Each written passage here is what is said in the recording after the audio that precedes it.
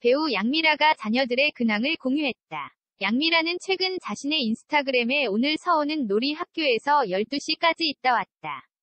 근데 반 친구들이 서호가 여자인 줄 알았나 보다.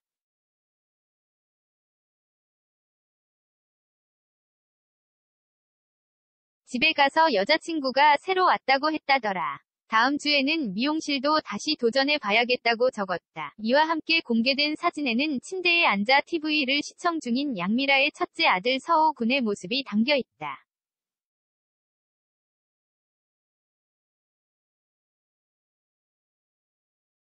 양갈래 머리를 한 그는 똘망똘망한 눈망울과 오밀조밀한 코, 입으로 인형 같은 분위기를 자아내 사랑스럽다. 양미라는 이어 생후 두 달 된 둘째 딸의 근황도 전했다.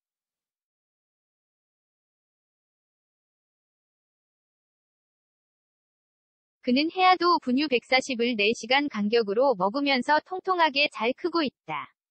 매번 트림시키느라 잠다 깨우고 내려놓으면 깨고 대환장 파티 중이지만 곧 좋아지겠죠. 라며 좋다는 꿀잠템은 다 사보는 중인데 뭐 하나 성공하는 게 없다.